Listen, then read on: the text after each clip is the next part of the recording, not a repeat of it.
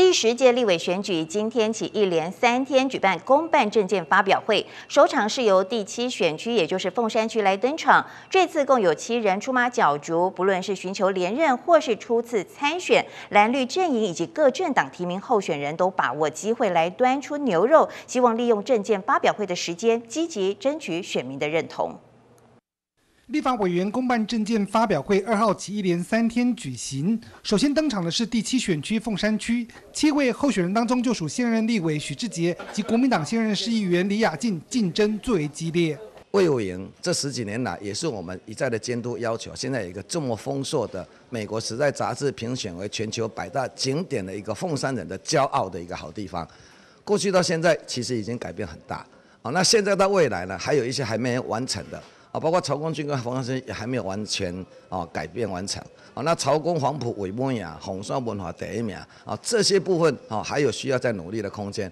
没有人比我更了解凤山，也没有人比我对凤山的付出更多。雅静也要帮凤山争取，呃，高雄是一座真的像样的国民运动中心哦，因为。凤山有接近三十万、三十六万人口，那跟临近台南也好，或者是屏东也好，我们的人口真的是比任何各区都还要多的人，可是一直都没有办法争取到一座真的是比较有规模的呃国民运动中心哦。未来我期待我能到立法院去。呃，争取中央的资源来挹注，在不会造成市府负担的状况之下，来建设我们凤山这个大家庭。除了国民两党候选人竞争激烈之外，不论是时代力量的陈慧敏、亲民党的秦诗燕，以及无党籍的候选人，也都把握住机会，端出牛肉，争取凤山地区选民的支持。凤山来讲的话，劳动的工作机会很少。那第二个是它的交通方面，其实它还没有很完善化，包括是捷运黄线的部分。那此外就是它的多文化的部分，就像是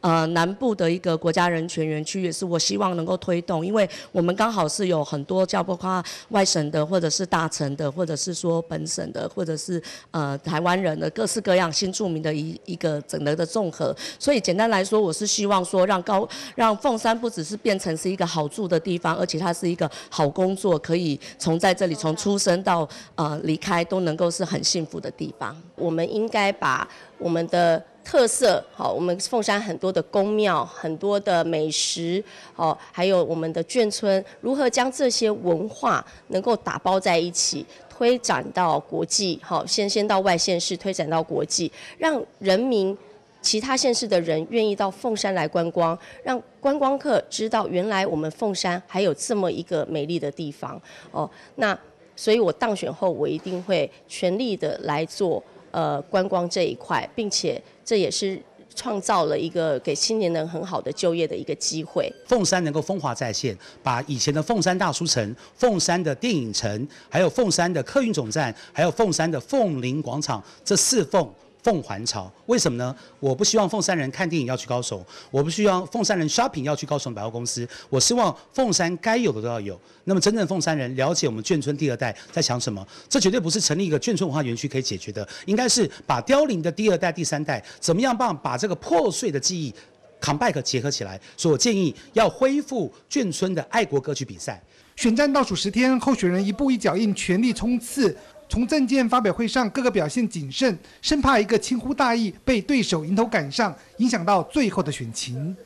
记者高雄综合报道。